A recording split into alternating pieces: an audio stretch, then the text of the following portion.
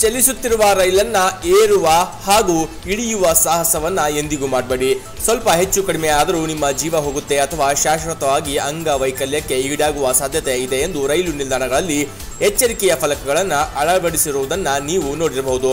ಇದರ ಜೊತೆಗೆ ಸ್ಟೇಷನ್ ಪ್ಲಾಟ್ಫಾರ್ಮ್ಗಳಲ್ಲಿ ತಿರುಗುವ ರೈಲ್ವೆ ಪೊಲೀಸರು ಕೂಡ ಈ ಬಗ್ಗೆ ಪ್ರಯಾಣಿಕರನ್ನ ಎಚ್ಚರಿಸುತ್ತಲೇ ಇದ್ದಾರೆ.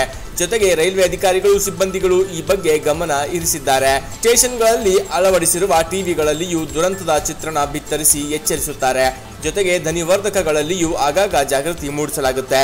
ಹಾಗಿದ್ದರೂ ಚಲಿಸುವ ರೈಲನ್ನ ಹತ್ತುವ ಅಥವಾ ಇಳಿಯಲು ಹೋಗಿ ಪ್ರಯಾಣಿಕರು ತಮ್ಮ ಜೀವ ಅಪಾಯಕ್ಕೆ ಒಡ್ಡುತ್ತಾರೆ.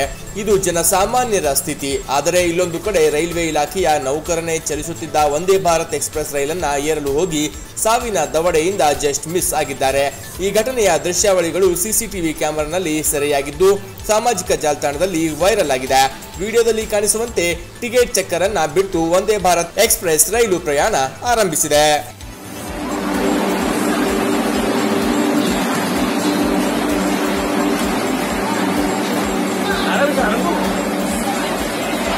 Ui,